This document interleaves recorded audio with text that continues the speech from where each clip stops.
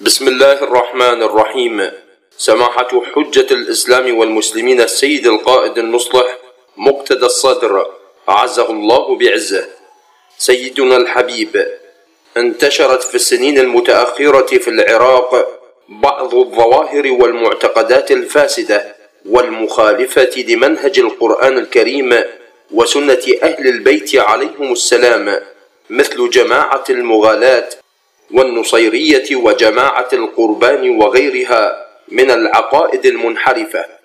نطلب من سماحتك بعض التوجيهات الدينية والعقائدية لشبابنا المؤمن بغية عدم الانجرار خلف هذه الظواهر والمعتقدات الفاسدة.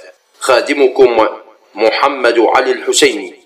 الثالث والعشرين من شهر محرم الحرام لعام 1446 باسمه تعالى.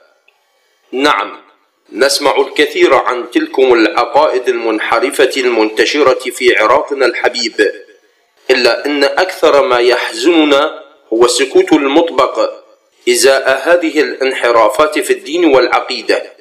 ومن هنا صار لزاما علي أن أبدي رأيي في هذه المسألة المهمة جدا وخصوصا أن بعض المنتمين لتلك العقائد قد يكونون من المنتمين لنا آل الصدر مع شديد الأسف. ولا أقل من أنه يمكن ادعاء ذلك من بعض من يريد بنا السوء. فالمغالاة بأهل البيت عليهم السلام مناقضة لشرع محمد وآل محمد صلى الله عليه وآله. فقد ورد عنهم سلام الله عليهم أجمعين. لا تتجاوزوا بنا العبودية. ثم قولوا فينا ما شئتم. فهم ليسوا عبيدا لله فحسب بل هم أفضل عبيد الله تعالى ولن يرضوا بغير ذلك أكيدا. فكل من يدعي ما يخالف ذلك فهو عاص لهم وغير مؤمن بهم بل هو كافر بهم صلوات الله وسلامه عليهم. وكذلك النصيرية الذين يؤلهون عليا وهو عليه السلام منهم براء حيث ورد في الحديث هلك فيك اثنان محب غال ومبغض قال. فتلك الجماعة أو الثلة هالكة بنص الحديث وخارجة عن طاعة العصمة وأهل البيت.